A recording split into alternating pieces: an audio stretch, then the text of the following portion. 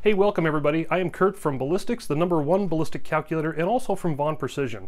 And all we want to do today is get you kind of used to the app. It's a great app. It has a lot of features and a lot of functions, whether you're reloading or whether you're shooting factory ammunition out of your favorite rifle. So let's jump right into this and take a look. So all we want to do here first is open the app. When you open the app, you're going to find yourself on the trajectory screen if you're new to the app. Now the trajectory screen is where all the data goes, where all the inputs need to be to calculate a firing solution. On the bottom you'll see where it says favorites. Once you've created something that works well for you, you can save that into favorites. Then there's rangefinder. Rangefinder has a default reticle, and we can change that as well.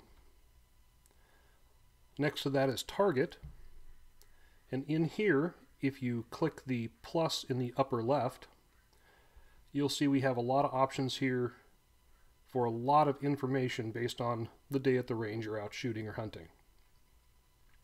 Next to that is HUD. Now HUD stands for Heads Up Display. And what HUD does is allows us to quickly change distance, wind speed, the wind origin, and any lead time for moving targets you will have to select a profile in order for that to work. Now let's go back to trajectory. At the top here where it says ballistic coefficient, the little icon to the right, let's click on that. This brings us into the library of bullets. Now these are not factory loaded bullets, they're just they're just simply bullets. You have a lot of options here. So if we were shooting 243, these are all in order by manufacturer, whether that's Berger, Combined Technology, Hornady, and so on. Let's click back up on bullet diameter. And at the top where it says loads, let's click on loads. Now here is all of the information that you're going to find on factory loaded ammunition also in order. At the top here where it says Litz, let's click on Litz. Now this is all the G7 drag model. And if we click on, well, let's pick uh, a 284, for example, you'll see just like the bullet library on the G1 version, you have basically the same thing, only everything will contain the G7. Click back on bullet diameter at the top, and other. Now other is where we can create custom BCs or calculate BCs based on velocity and we'll get into that in later videos. Let's click on loads and let's just select one real quick. Let's do a 25-06 Remington and we'll scroll down and we'll pick we'll pick a Winchester 85 grain ballistic silver tip. Now when you do that, that brings all of the factory ammunition into the trajectory screen.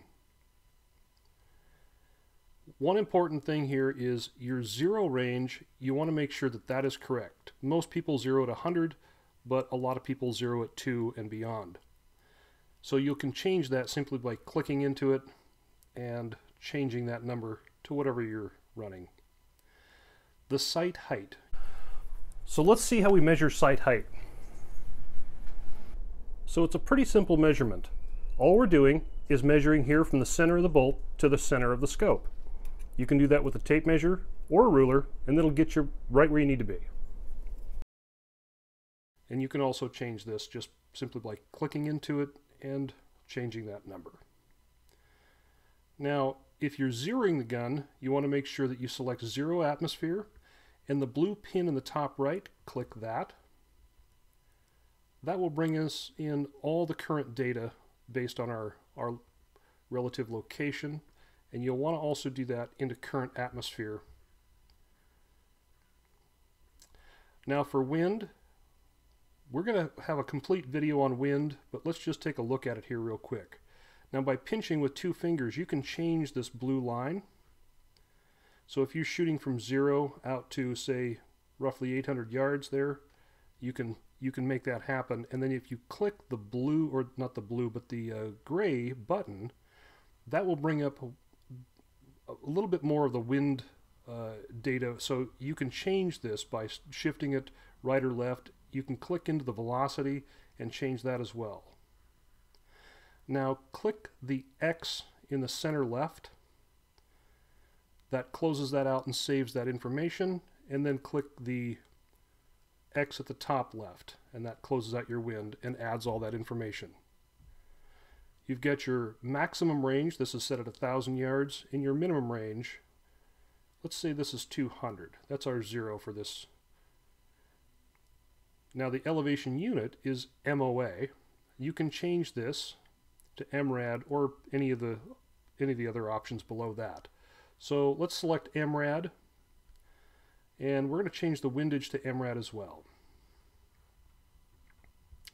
The values are going to stay at 1 and 1. And let's just go ahead and calculate this. Right at the bottom here where it says calculate trajectory. What that does is it brings in all that information and it puts it into the bullet trajectory solution. So we know at 350 yards we're going to have to dial 0.7 mils for a total drop of 9.3 inches. So that's going to conclude this video. I hope it helps you out and stay tuned. We have a lot more coming. We're going to get very, very in-depth into this into this app and help you learn a little bit and help you function this. Uh, there's a, it's a very robust app, so there's a lot to learn. So stay tuned, folks. Thanks for watching.